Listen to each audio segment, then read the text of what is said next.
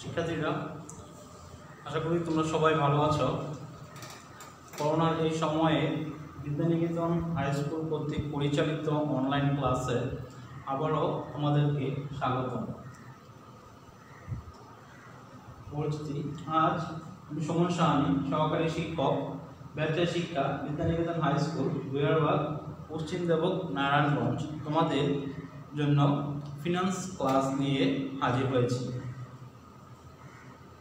তো চলো আমরা শুরু করি আমাদের আজকের ফিনান্স ক্লাস তো আমরা প্রথমে কিছু ছবি দেখব এবং এই ছবিগুলো দেখে আমরা বোঝার চেষ্টা করব যে আমাদের আজকের ক্লাসটি কি হতে পারে। এইসব আমরা কিছু ছবি দেখি। তো শিক্ষার্থীরা, এটা কিসের ছবি? এগুলো মানে টাকা বা অর্থে। প্রেজেন্ট ভ্যালু বাংলায় যাকে বলা হয় বর্তমান মূল্য। এটি হচ্ছে একটি ঘড়ি বা যেটি দ্বারা আমরা সময় কি দেখতে পারি। ইন্টারেস্ট রেট বা সুদের হার, তোমরা জানো ব্যাংকে যখন যারা টাকা রাখে, তো সেখানে সুদের হার এই শব্দটি সম্পৃক্ত থাকে। এটাও অর্থ, তবে ওটার সাথে একটা পার্থক্য হচ্ছে, ওখানে অল্প অর্থ, এখানে বেশি অর্থ এবং এখানে হচ্ছিল ফিউচার ভ্যালু তার মানে ভবিষ্যৎ মূল্য।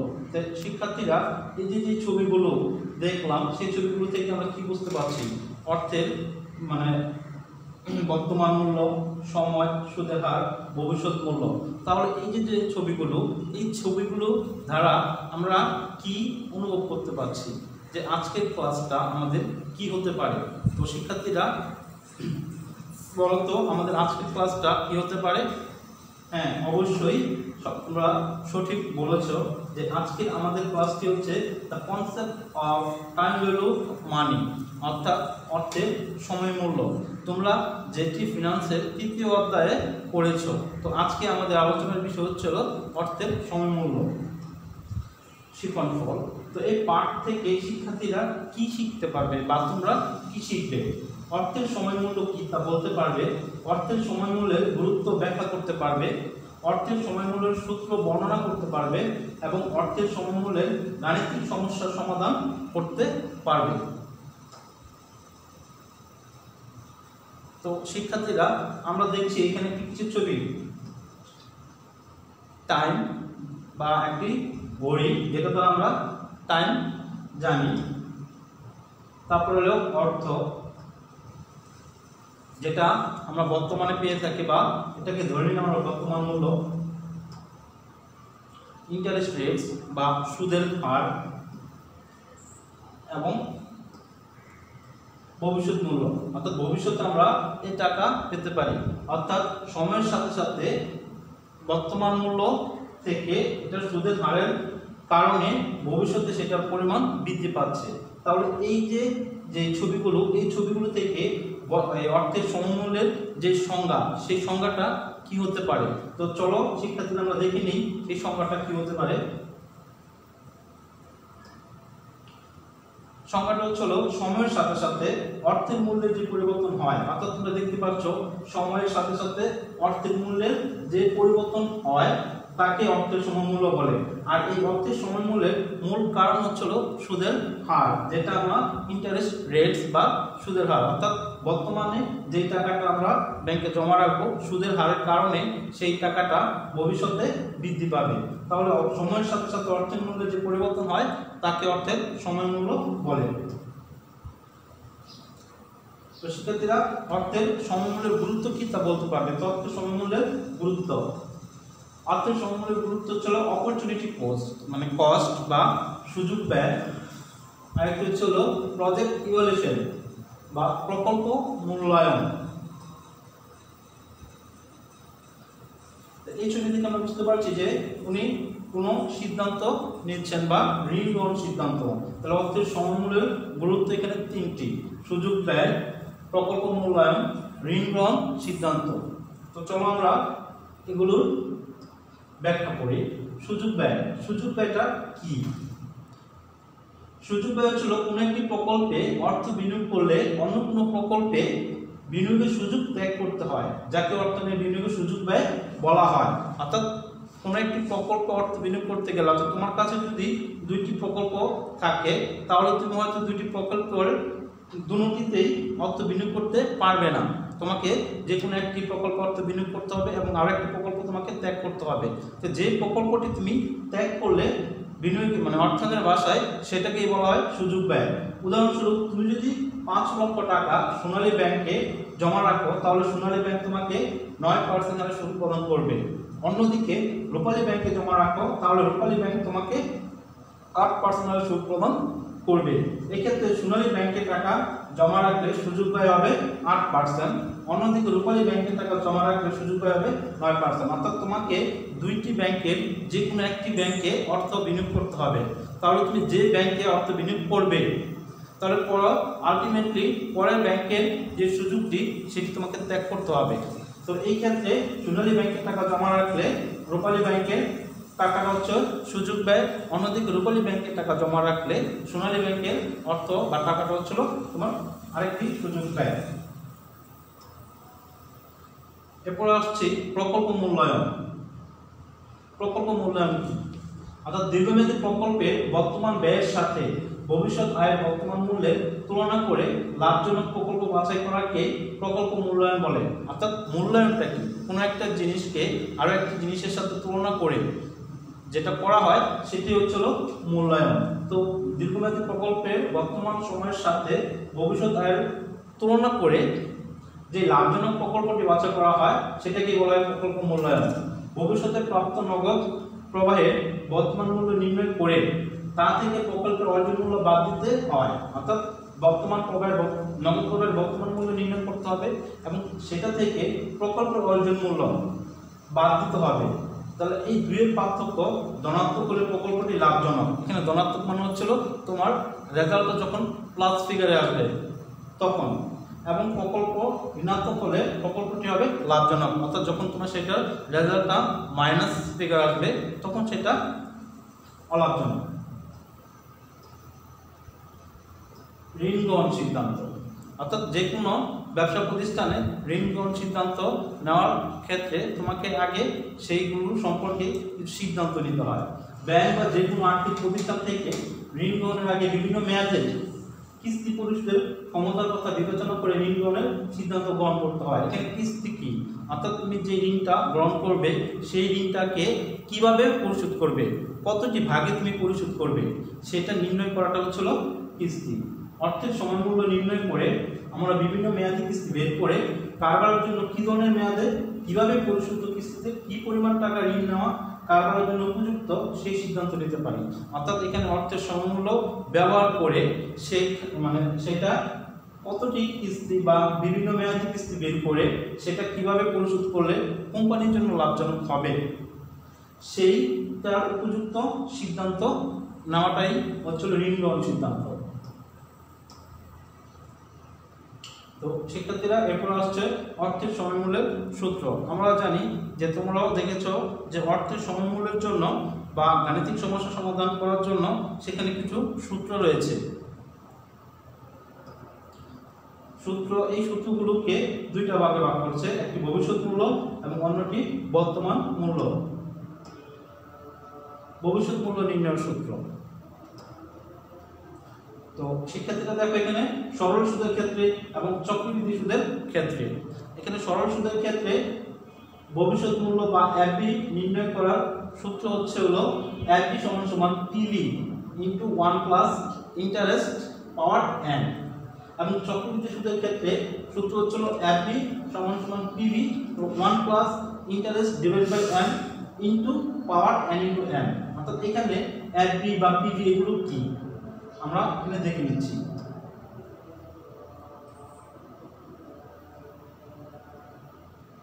দেখো, এখানে অ্যাপি অ্যাপি হচ্ছে ফিউচার ভ্যালু বা ভবিষ্যৎ মূল্য পিবি পিবি হচ্ছে হলো প্রেজেন্ট ভ্যালু বা বর্তমান মূল্য। আই হচ্ছে হলো রেট অফ ইন্টারেস্ট বা শতকরা সুদের হার। এন এন হচ্ছে হলো টার্ম অফ টাইম বা সময়। এম হচ্ছে হলো নাম্বার অফ কম্পাউন্ড বা চক্রবৃদ্ধি সংখ্যা। বর্তমান মূল্য নির্ণয়ের সূত্র। তো বর্তমান মূল্য নির্ণয়ের ক্ষেত্রেও আমার সরল সুদ এবং চক্রবৃদ্ধি সুদ রয়েছে। তো সরল সুদের ক্ষেত্রে পিভি সমান সমান L B divided by one plus interest power N এবং চক্রবৃদ্ধি সুদের ক্ষেত্রে পিভি সমান সমান L B one plus interest divide by M power N into অর্থাৎ এখানে দেখা যাচ্ছে যে বর্তমান মূল্য এবং ভবিষ্যৎ মূল্যের যে সূত্রগুলো, সেই সূত্রগুলো যদি আমি ভালো মতো পারি, তাহলে আমার অঙ্ক করতে সুবিধা হবে।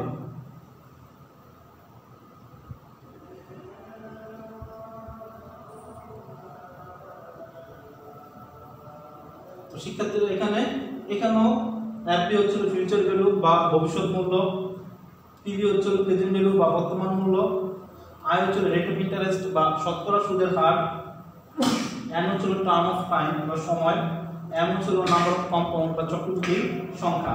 তো এখানে শিক্ষার্থীরা সরল সুদ এবং চক্রবৃদ্ধি সুদের ক্ষেত্রে পার্থক্যটা কি? অর্থাৎ সূত্রের পার্থক্যটা কি?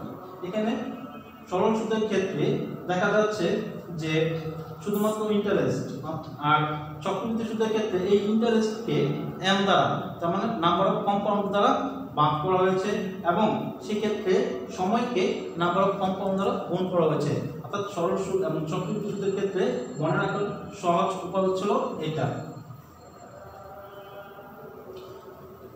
তো আমরা আগে দেখলাম যে সরল সুদ ও চক্রবৃদ্ধি সুদের ক্ষেত্রে সূত্র দেওয়া আছে। তো এই সরল সুদটা কি এবং চক্রবৃদ্ধি সুদটা কি? এখন আমরা দেখব যে সরল সুদ আর চক্রবৃদ্ধি সুদটা কি। দেখো, সরল সুদ হচ্ছে ইংরেজিতে যেটাকে বলা হয় সিম্পল ইন্টারেস্ট এবং এটির সংজ্ঞা হচ্ছে আসল টাকার উপর নির্দিষ্ট হারে যে সুদ প্রদান করা হয়, তাকে সরল সুদ বলা হয়। অর্থাৎ আমরা ব্যাংকে যে টাকাটা জমা রাখি আসল, সেই টাকাটার উপরে যে সুদ প্রদান করা হয়, সেটা হচ্ছিল সরল সুদ। আর চক্রবৃদ্ধি সুদ হচ্ছিল, ইংরেজিতে যেটাকে বলা হয় কম্পাউন্ড ইন্টারেস্ট সেটা হচ্ছিল সুদ যুগ আসল, সমান সমান সুদ আসল। টাকার উপর নির্দিষ্ট হারে যে সুদ প্রদান করা হয়, তাকে চক্রবৃদ্ধি সুদ বলে। অর্থাৎ চক্রবৃদ্ধি সুদের ক্ষেত্রে, চক্রবৃদ্ধি সুদের ক্ষেত্রে সুদের ক্ষেত্রে যে আসলের সাথে যে সুদ, সেই সুদটা যোগ করে যে টাকাটা হয়, অর্থাৎ সুদাসল ওই সুদাসলের উপরে যে সুদ প্রদান করা হয়, সেটাকে বলা হলো চক্রবৃদ্ধি সুদ।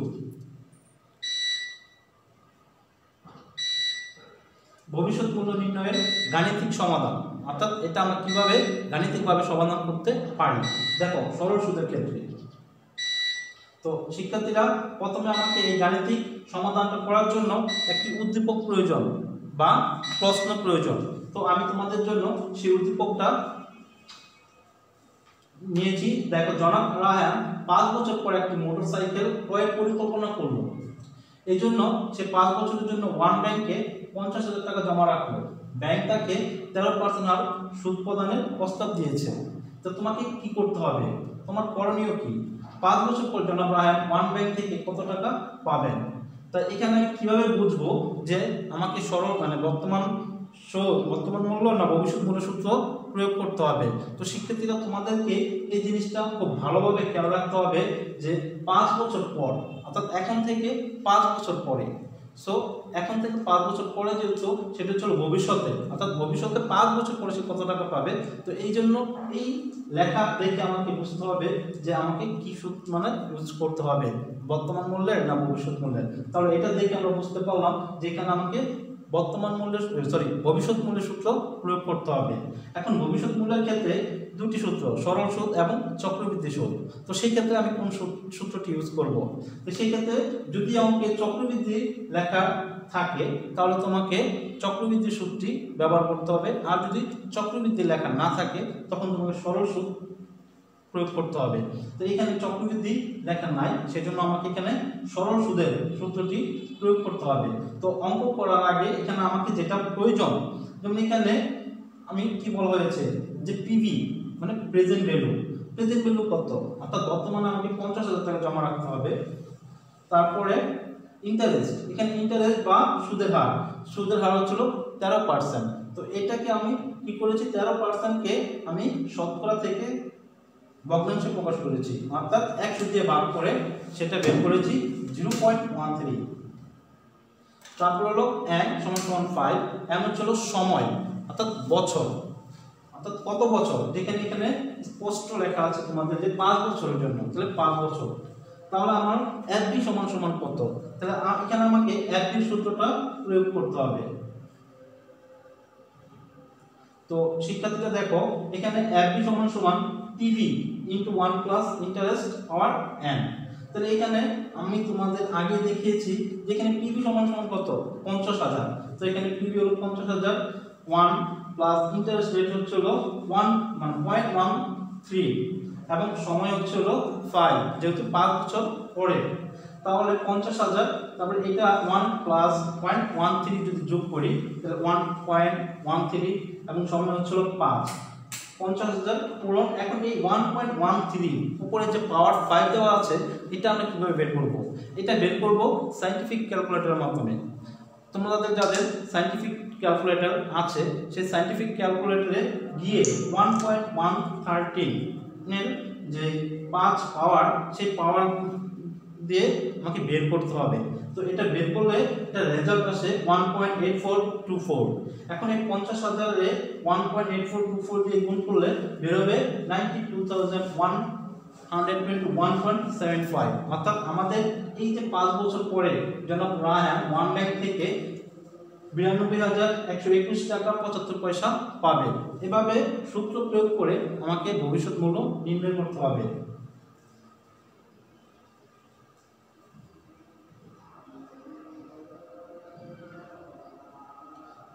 তো শিক্ষার্থীরা, সেটা ছিল হলো ভবিষ্যৎ মূল্যের সরল সুদ এখন আমরা করব চক্রবৃদ্ধি সুদ তো এই চক্রবৃদ্ধি সুদের জন্য আমাকে একটি উদ্দীপক রেখেছি আমি। এখন সেই উদ্দীপকটা আগের উদ্দীপকের মধ্যেই জাস্ট পার্থক্য হচ্ছে, সেখানে চক্রবৃদ্ধির কথার উল্লেখ ছিল না। আর এখানে চক্রবৃদ্ধির কথার উল্লেখ আছে। তো এই ক্ষেত্রে আমাকে কি করতে হবে? পাঁচ বছর পর্যন্ত আপনারা নন ব্যাংক থেকে কত টাকা পাবেন, অর্থাৎ সেটা ছিল সরল সুদের ক্ষেত্রে এবং এটা ছিল চক্রবৃদ্ধি সুদের ক্ষেত্রে। যেহেতু এখানে আমার চক্রবৃদ্ধি কথাটি উল্লেখ আছে সেই জন্য আমাকে এখানে চক্রবৃদ্ধি সূত্রটি প্রয়োগ করতে হবে। তো, ও, এই জন্য আমাকে বের করতে হবে এখানেও যে পিবি হচ্ছিল পঞ্চাশ হাজার ইন্টারেস্ট হচ্ছিল থার্টিন পার্সেন্ট বা পয়েন্ট ওয়ান থ্রি এন হচ্ছে হলো ফাইভ বা পাঁচ বছর। এখানে এম হচ্ছে হলো টুয়েলভ তার মানে এমটা কি? এই যে চক্রবৃদ্ধি, অর্থাৎ নাম্বার অফ কম্পাউন্ড চক্রবৃদ্ধির সংখ্যা। তো এখানে এম এর মানটা বের করতে হবে। এম এর মানটা আমি কীভাবে বের করব? এখানে অঙ্কে চক্রবৃদ্ধিটা কীভাবে দেওয়া আছে, সেইটা খেয়াল করতে হবে। এখানে মাসিক চক্রবৃদ্ধি দেওয়া আছে। মাসিক চক্রবৃদ্ধি মান হচ্ছে প্রতি মাসে আমাকে চক্রবৃদ্ধি করতে হয়। তাহলে প্রতি মাস যদি আমি ধরি, তাহলে এখানে এক বছর সমান সমান কত মাস? বারো মাস। সেক্ষেত্রে আমার এম এর মান হচ্ছিল বারো। এফবি সমান সমান কত? এখানে এফবির সূত্র আমি ইউজ করছি পিভি সমান into one plus interest divide M power N into M অর্থাৎ এখানে পিভি হচ্ছিল পঞ্চাশ হাজার ওয়ান প্লাস ইন্টারেস্ট হচ্ছিল পয়েন্ট থার্টি এবং এম এর মান হচ্ছিল টুয়েলভ ইন্টু এম হচ্ছিল সময় বা পাঁচ বছর এবং এম এর হচ্ছিল বারো। অর্থাৎ এই যে এই সূত্র, এই সূত্রে আমি মান প্রয়োগ করলাম। এখন পঞ্চাশ হাজার এবং এই কাজ কাজগুলো করলাম পয়েন্ট থার্টিনকে বারো দিয়ে ভাগ করে এটা নামালাম এবং এখানে পাঁচ বারো ষাট। এই one plus point one zero zero one zero eight যোগ করলে হয় one point zero one one zero eight এবং এই সিক্সটি ঠিক আগেরবারের মতোই আমাকে এটার উপরে সিক্সটি পার্সেন্ট মানে ষাটের পাওয়ার বের করতে হবে। তো শিক্ষার্থীরা ষাটের পাওয়ার বের করলে আমার বের হয় এক দশমিক নয় শূন্য পাঁচ এক, অর্থাৎ বা one point nine zero five one এখন এই পঞ্চাশ হাজারের সাথে এইটা গুণ করলে বের হয় ninety five thousand two hundred fifty five টাকা। অর্থাৎ ওটা ছিল, এর আগে যেটি ছিল, সেটি ছিল ভবিষ্যৎ মূল্য নির্ণয়ের সরল সুদের ক্ষেত্রে এবং এটা ছিল চক্রবৃদ্ধি সুদের ক্ষেত্রে। তাহলে সরল সুদের ক্ষেত্রে বের হয়েছে বিরানব্বই, এখানে বেরিয়েছে পঁচানব্বই। তার মানে দেখা যাচ্ছে যে চক্রবৃদ্ধি সুদের ক্ষেত্রে তোমার সুদের পরিমাণটা বেশি হচ্ছে তো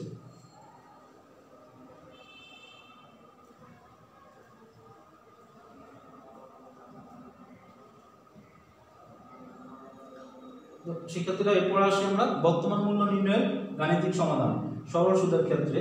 এখানেও আমাকে একটি অনুচ্ছেদ দেওয়া আছে তো দশ বছর পর ষাট হাজার টাকা পাওয়ার আশায় তুমি বর্তমানে কিছু টাকা জমিয়ে ব্যাংকে রাখতে চাও, অর্থাৎ তুমি দশ বছর পরে ষাট হাজার টাকা পেতে চাও। অর্থাৎ অনেকেই আছে যে দশ বছর পরে বা অনেক বছর পরে একটা পরিকল্পনা করে যে ওই সময় আমি এত টাকা দিয়ে আমি একটা কি কিছু করব। তো এই জন্য তারা কি করে? এখন থেকেই প্রতি মাসে মাসে টাকা জমিয়ে রাখে। তো এখানে এই দশ বছর পর ষাট হাজার টাকা পাওয়ার আশায় তুমি বর্তমানে কিছু টাকা জমিয়ে রাখতে চাও, এই জন্য যমুনা ব্যাংক তোমাকে বার্ষিক বারো পার্সেন্ট আড়াই সুদ প্রদানের প্রস্তাব দিয়েছে। তো তোমার করণীয় কি? দশ বছর পর তুমি ষাট হাজার টাকা পেতে চাইলে তোমাকে যমুনা ব্যাংকে বর্তমানে কত টাকা জমা রাখতে হবে? তো শিক্ষার্থীরা দেখো, এখানে উল্লেখ আছে যে বর্তমানে কত টাকা জমা রাখতে হবে। তো এটার উপর ভিত্তি করে আমাকে বুঝতে হবে যে আমি এখানে কোন সূত্রটা প্রয়োগ করব। যেহেতু বর্তমানে কত টাকা জমা রাখতে হবে এই জন্য আমাকে বর্তমান মূল্যের সূত্র প্রয়োগ করতে হবে। তো এখানে বর্তমান মূল্যের ক্ষেত্রে যে সূত্র এফবি অর্থাৎ ফিউচার ভ্যালু তো ফিউচার ভ্যালু মানে দশ বছর পর তুমি ষাট টাকা পেতে, ষাট হাজার টাকা পেতে চাও। তাহলে এখানে এফবি হচ্ছিল ষাট হাজার টাকা।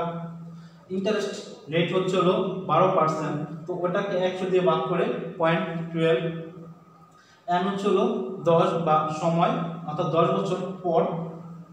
তো PV is equal to question mark অর্থাৎ পিবি আমাকে বের করতে হবে। তো এখানে আমাকে পিবির সূত্র ব্যবহার করতে হবে। এবং পিবির কোন সূত্রটা? শিক্ষার্থীরা দেখবে এখানে কিন্তু কোনো চক্রবৃদ্ধির কথা উল্লেখ নেই। তো সেজন্য আমরা এখানে সরল সুদের সূত্রটা ব্যবহার করছি। অ্যাপি সমান সমান one plus interest power N এখানে অ্যাপির মান বসিয়েছি, তারপরে ইন্টারেস্টের মান বসিয়েছি, এবং এন বা সমের মান বসিয়েছি। বসিয়ে আমি এখানে কাজ করেছি। ওয়ান প্লাস পয়েন্ট টুয়েলভ এটার পাওয়ার টেন এর মান নিয়েছি এটা one point one twelve power টেনের মান হচ্ছিল three point one zero five eight এখন এই ষাট হাজার টাকাকে three point one zero five eight দিয়ে ভাগ করলে বেরোয় উনিশ হাজার তিনশো আঠারো টাকা উনসত্তর পয়সা। তাহলে আমাকে দশ বছর পরে যদি ষাট হাজার টাকা পেতে চাই, তাহলে আমি বর্তমানে প্রতি মাসে উনিশ হাজার তিনশো আঠারো টাকা করে ব্যাংকে জমা রাখতে হবে।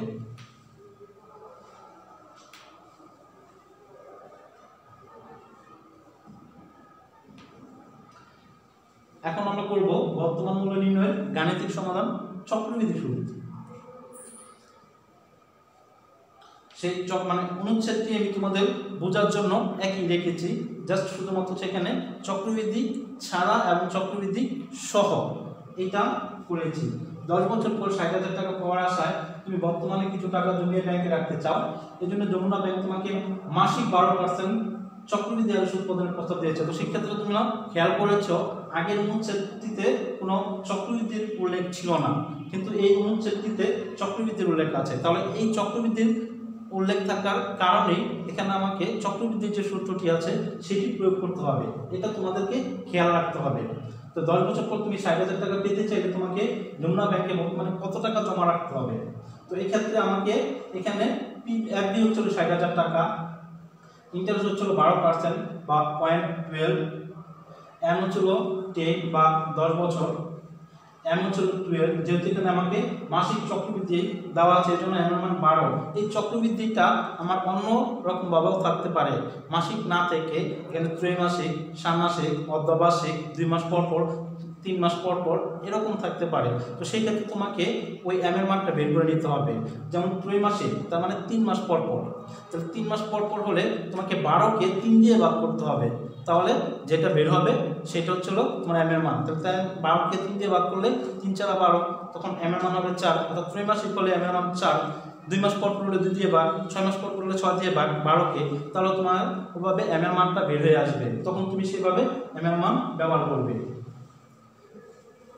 এই ক্ষেত্রে পিভি সমান সমান এফবি তারপর আমি সূত্র প্রয়োগ করেছি one plus interest divide by M N power N এখানে এফবি হচ্ছিল ষাট হাজার, তারপরে ইন্টারেস্ট রেট হচ্ছিল বারো পার্সেন্ট আর এম এর মান হচ্ছিল বারো, আর এখানে সময় হচ্ছিল দশ বছর, আর চক্রবৃত্তি সংখ্যা হচ্ছিল বারো।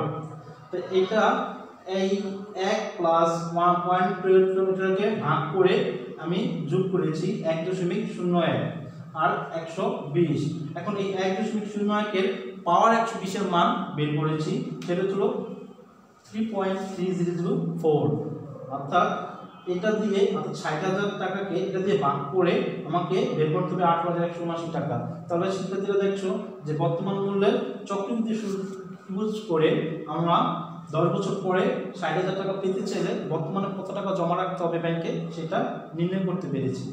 তো এভাবে আমাকে যে সূত্রগুলো প্রয়োগ করে সরল সুদের ক্ষেত্রে, চক্রবৃদ্ধি সুদের ক্ষেত্রে যেতেই হোক, অঙ্কে আমাকে দেখতে হবে কি চাওয়া হয়েছে, ভবিষ্যৎ মূল্য না বর্তমান মূল্য?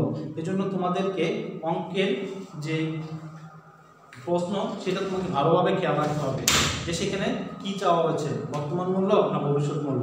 সরল সুদের ক্ষেত্রে না চক্রবৃদ্ধি সুদের ক্ষেত্রে? এটা তোমাকে ভালো করে খেয়াল করে তারপরে সূত্র প্রয়োগ করতে হবে। না হলে কিন্তু তোমাদের সূত্র ভুল প্রয়োগের মাধ্যমে অঙ্ক ভুল হতে পারে।